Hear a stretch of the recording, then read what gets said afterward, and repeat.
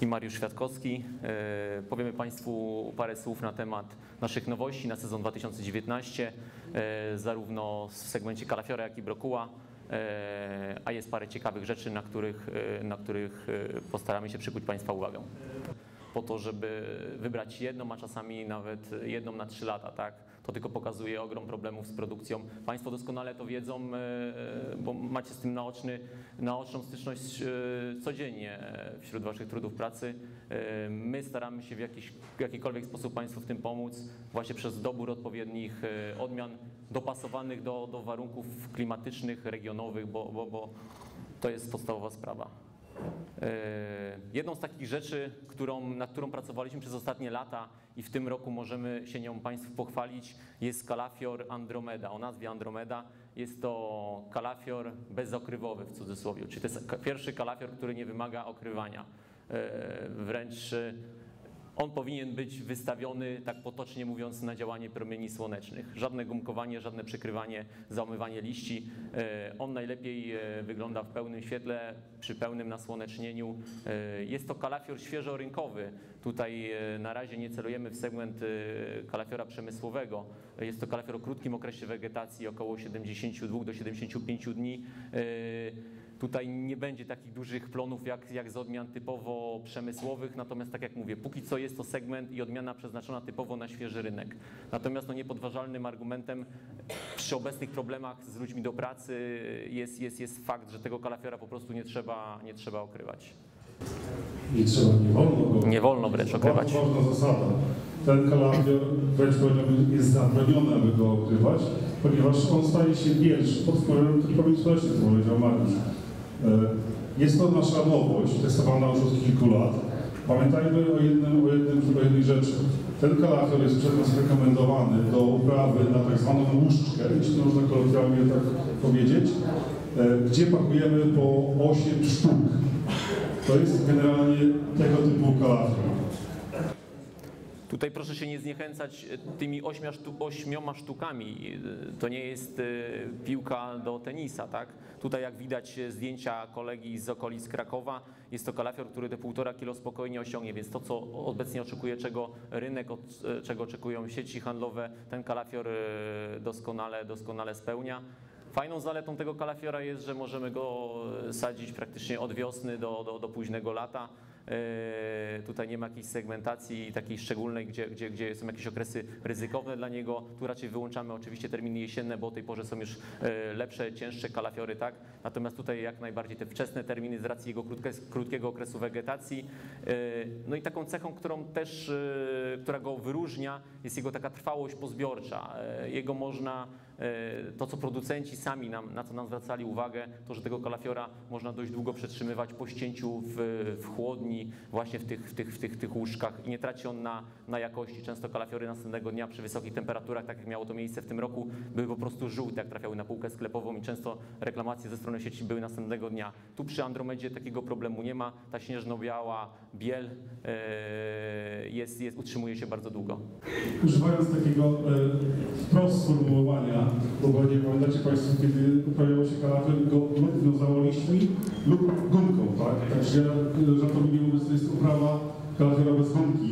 A to, o czym- Mariusz powiedział, mianowicie fakt tego pozostania tej bieli nadal białym kalafiorem wynika z tego, że nawet gdy robiliśmy doświadczenie i porównywaliśmy do innych odmian, to inne odmiany po zbiorze były zasiedlane przez różnego typu patogeny i to powodowało nic innego jak tylko zmianę tej barwy na bardziej szarą.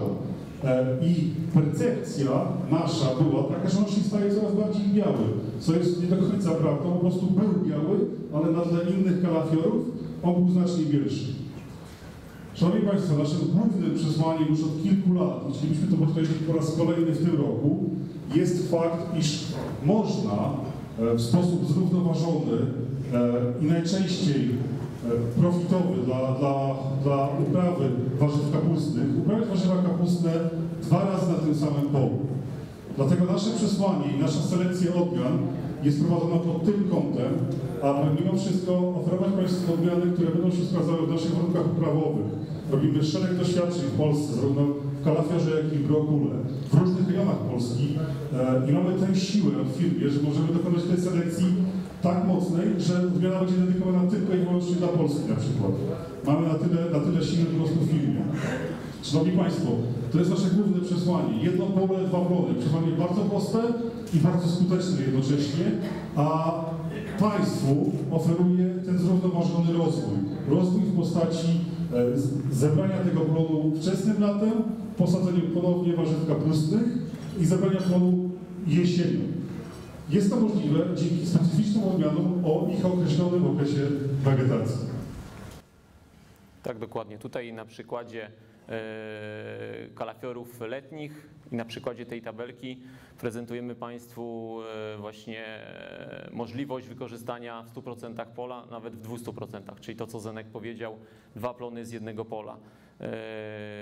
Jesteśmy w stanie zaproponować Państwu każdą kombinację, kalafior po kalafiorze, e, brokuł po brokule albo na odwrót, e, brokuł na początku, kalafior i znowu na odwrót. Tutaj wszystko dobieramy okresami wegetacji i nie jest to dobieranie na siłę. To są sprawdzone od lat badania. Eee, Także musi to się Państwu w naszych warunkach klimatycznych udać, a one są, jak sami Państwo wiedzą, bardzo zmienne.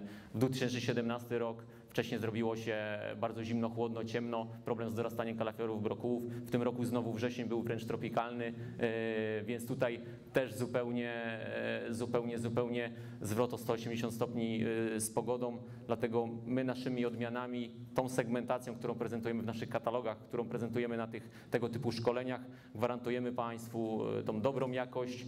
Tylko trzeba nas czasami troszeczkę posłuchać i, i starać się zrobić to, co chcemy Państwu przekazać.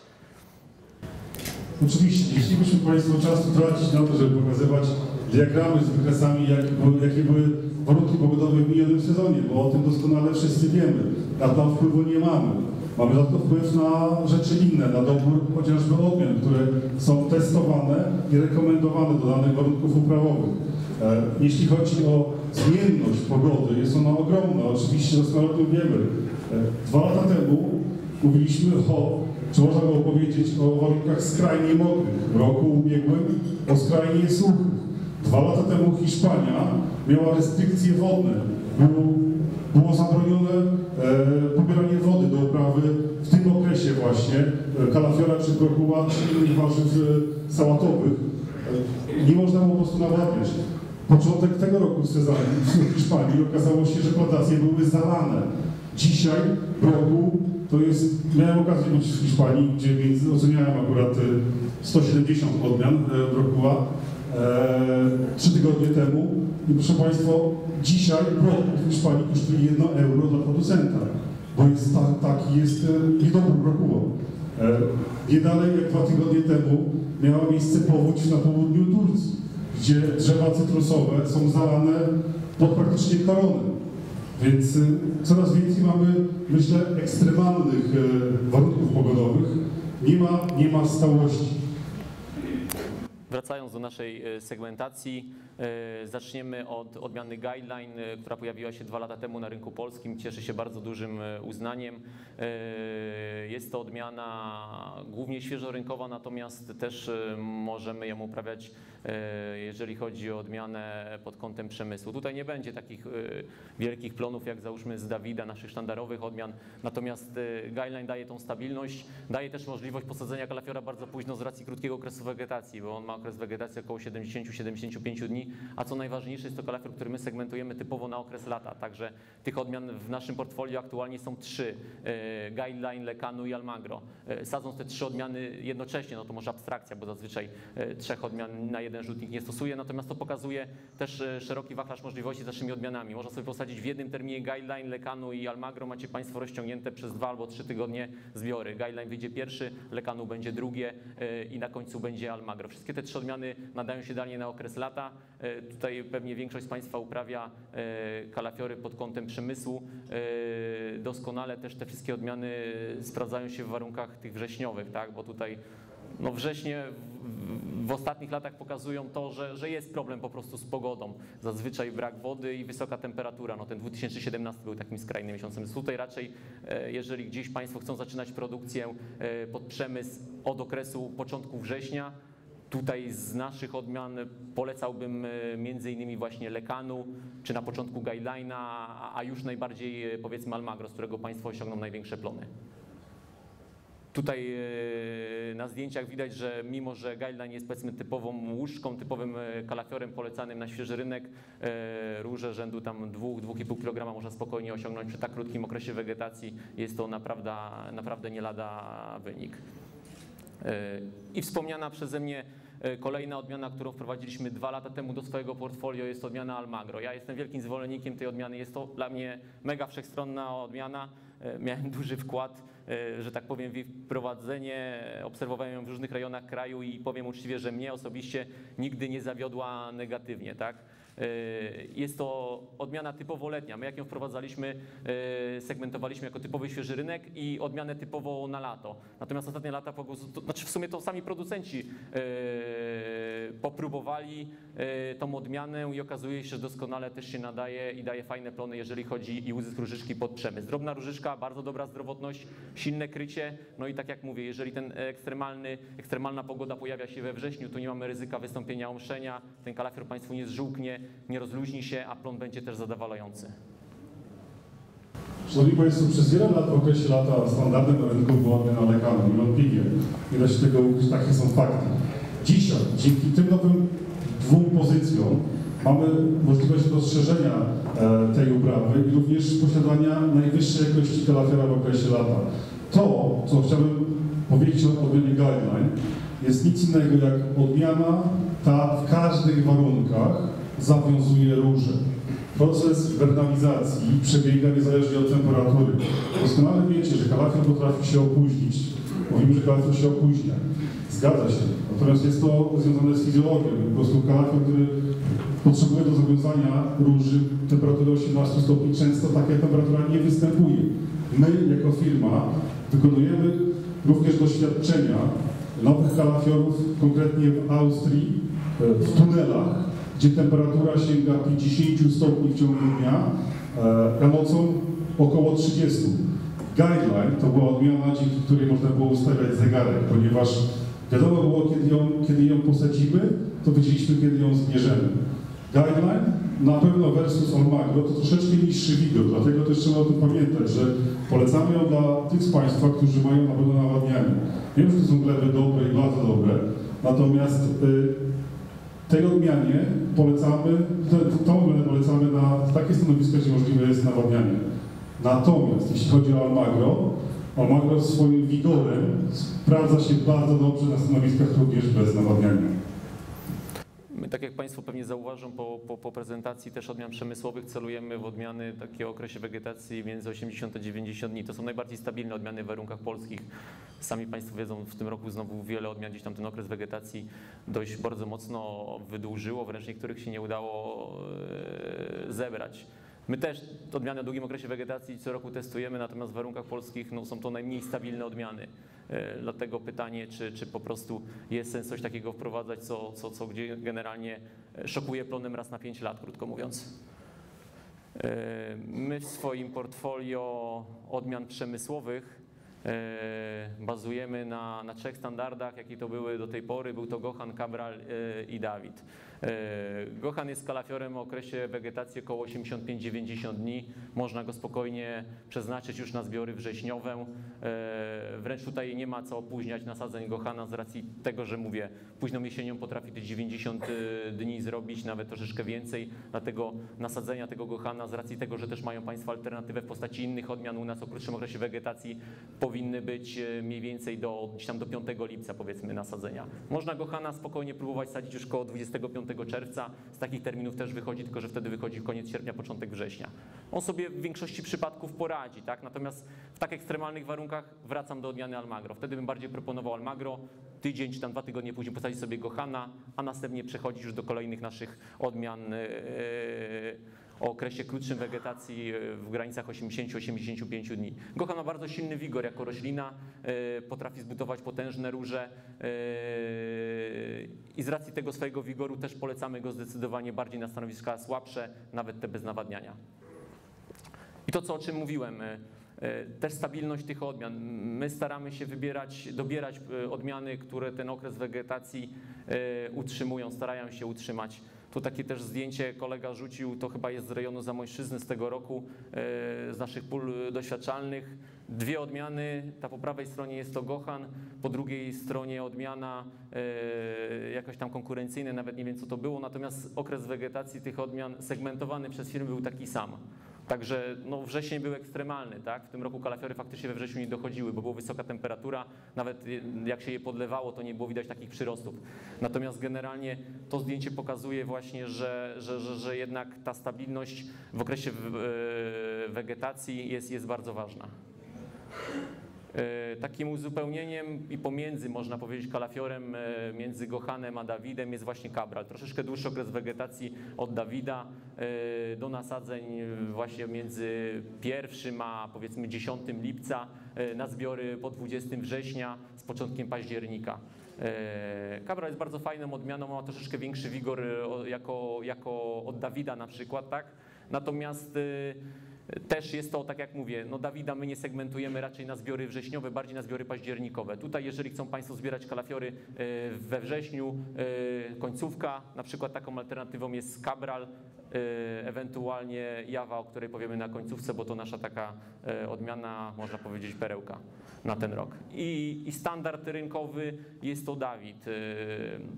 Dawid jest odmianą okresie wegetacji 80-85 dni. My go polecamy, to zależy od rejonu. Natomiast no, ja z, z, na swoim rejonie segmentuję Dawida do nasadzeń dokładnie koło 15 lipca i wtedy Dawid wychodzi najlepiej. Wychodzi Państwo w październiku, ten okres wegetacji utrzymuje.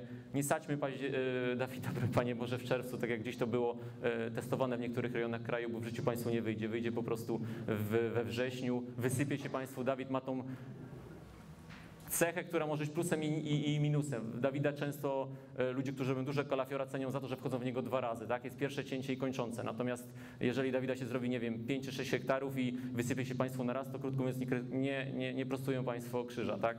Bo po prostu jest każda sztuka praktycznie do wycięcia. Żeby tą stabilność tej odmiany utrzymać, tym bardziej, że tak jak cały czas podkreślam, mamy odmiany do, do zbiorów typowo na wrzesień, na początek października. Dawida posadźcie sobie Państwo koło 15 lipca. To jest optymalny termin nasadzeń Dawida. E, Będzie super plon, e, bardzo fajna jakość różyczki i, i, i on tą wegetację utrzyma. Tu też nie ma tego ryzyka, bo to tak można powiedzieć, że to taki ekstremalny trochę termin. Ok, jeżeli posadzilibyście, nie wiem, Gochana 15 lipca, przy tym roku byłyby problemy albo by na maksa wyciągnął. Dawida w tym roku wszyscy z takich terminów u mnie w okolicach e, e, Ożarowa Mazowieckiego, Wyszogrodu, Czerwińska, w takich terminach sadzą Dawida i to była, e, może nie będę mówił, że najlepsza, ale jedna z najlepszych odmian w tym sezonie. Tu na tym zdjęciu widać cechę też Dawida. On zawsze wygląda jak taki ładny podgrzy... grzybek pod grzybek generalnie. Podwinięty, nie rozluźnia się, nie starzeje. Też o, co, co chcę powiedzieć o, o odmianach o długim okresie wegetacji, co w tym roku zaobserwowałem. Yy, Im odmiana o dłuższym okresie wegetacji, tym ten okres wegetacji yy, bardziej wydłużyła. Często ludzie mówili, że kalafiory gdzieś się po bokach po wycięciu rozluźniały. One się po prostu zestarzały. Niech Państwo zwrócą uwagę, że one rosły po 100-115 dni, tak? Nie rosły 80 dni, tylko, tylko przekraczały setkę. I to był po prostu efekt starzenia, tak? Niczego innego. Wrzesień je mocno przytrzymał i, i, i taki był tego efekt, tak? Już nie wspomnę o, mówię, odmianach powyżej 90 dni, które w ogóle nie dorosły w niektórych rejonach kraju w tym roku. Także, także tutaj ten stabilność, stabilność planowania Dawida jest naprawdę dobra, tylko mówię, wszystko musi mieć swoją porę i termin sadzenia. I to jest też kolejna takich parę zdjęć wrzuciliśmy.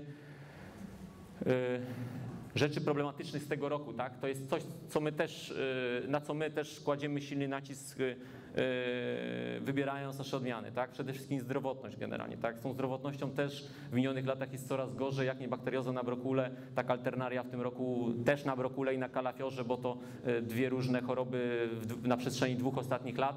Natomiast generalnie do takich rzeczy to prowadzi. My staramy się unikać odmian, które są na to podatne, bo, bo są odmiany podatne i mniej podatne. Nie ma co ukrywać, tak, generalnie. Tak na logikę nawet odmiana, która dłużej rośnie w polu, będzie zawsze dłużej, bardziej podatna na choroby, bo musicie ją Państwo dłużej chronić, tak. Tutaj przed, przed spotkaniem padło pytanie odnośnie ochrony. Kiedy zaczynać? Jak najwcześniej, nie jak już choroba jest, tylko jakiej generalnie jeszcze nie ma, tak, czyli zabezpieczać. Cztery tygodnie po posadzeniu pierwszy oprys grzybowy powinien być. Kiedyś udawało się e, robić kalafiora brokuła bez oprysków, ja wiem, bo sam byłem tego świadkiem. Natomiast teraz w większości przypadków albo w 100% się to nie udaje. Także tutaj profilaktyka, profilaktyka, jeszcze raz profilaktyka. Natomiast należy rozróżnić dwa aspekty choroby grzybowe, a choroby bakteryjne. Bakteryjne. Gdzie wiemy, że z chorobami bakteryjnymi walka to jest tak jak z wiatrakiem. No niestety dzisiaj nie ma środków które byłyby tak skuteczne, aby po ich zastosowaniu można powiedzieć, mogę spać spokojnie, bo będę miał ten plon, którego oczekuję. Dlatego też przy doborze odmian ważne jest, aby po prostu sugerować się tym, czy odmiany są podatne lub też nie na dane zagrożenia występujące w środowisku.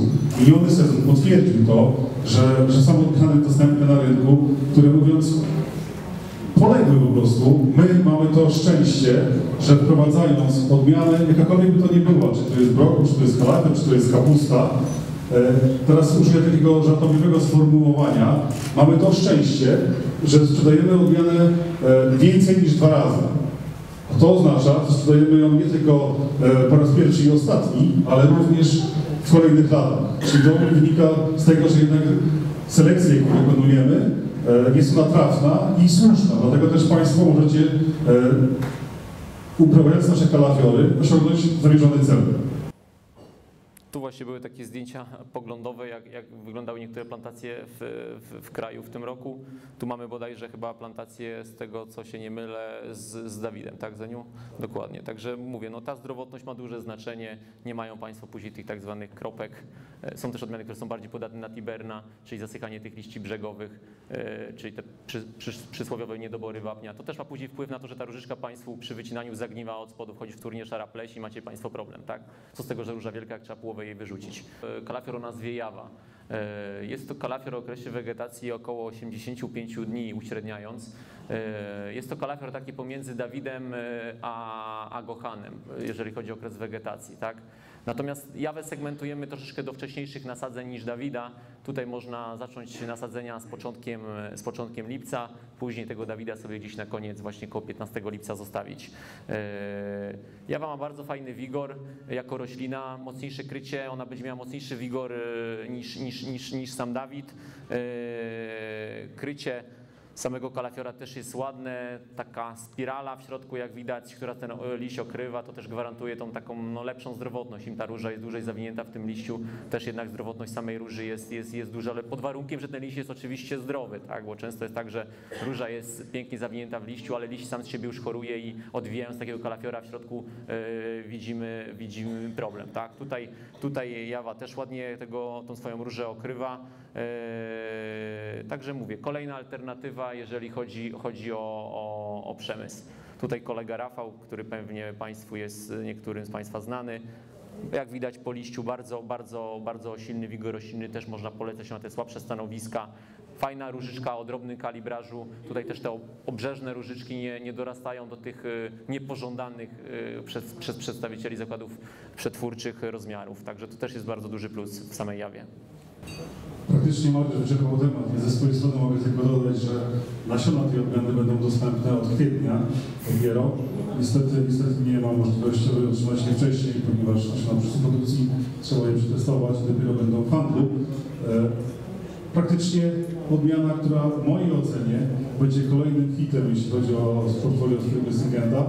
E, I takie mam przekonanie, że za jakiś czas ta odmiana stanie się wyznacznikiem na rynku jakości. I tutaj jeszcze ten slajd podsumowujący, tak jak mówię, idealnie możemy sobie poukładać naszymi odmianami tą produkcję, począwszy od zbiorów yy, nawet, nawet w sierpniu, przez wrzesień do, do października, czy gdzieś tam zahaczając jeszcze o listopad, tylko, tylko należy współpracować z nami słuchać tych terminów nasadzeń, które my rekomendujemy, bo to jest dla nas ważne i dla Państwa, uwierzcie mi też.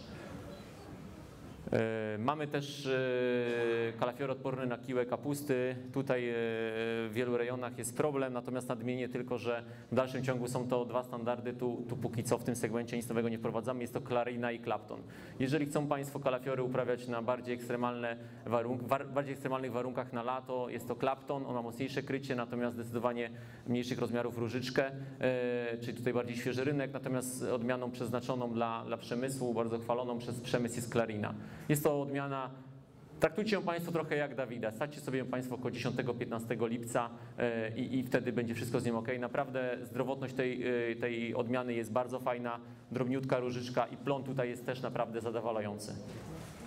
Jeśli chodzi o odmianę może dodam tylko jedną rzecz. Otóż odmiana jest zdecydowanie numerem jeden na zachodzie Europy. Wynika to z faktu, że odmiana charakteryzuje się niesamowitą e, przydatnością agro, agronomiczną. Otóż fakt ten charakteryzuje się tym, że odmiana po zbiorze zachowuje bardzo długą wartość handlową. Odmiana jest robiona na świeży rynek, innymi w Holandii, gdzie sama ta odmiana ma około 60% udziału w rynku, natomiast e, producenci nie posiadają nawet kiby na polach. Ale fakt, o którym mówię, czyli w momencie, kiedy jest e, nadwyżka kalafiora na rynku, oni go przetrzymują w chłodni, dopiero zaczynają sprzedawać go w momencie, kiedy kalafiora zaczyna brakować.